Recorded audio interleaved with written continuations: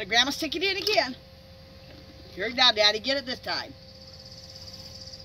Good job, buddy. Look at He's got that blowing down.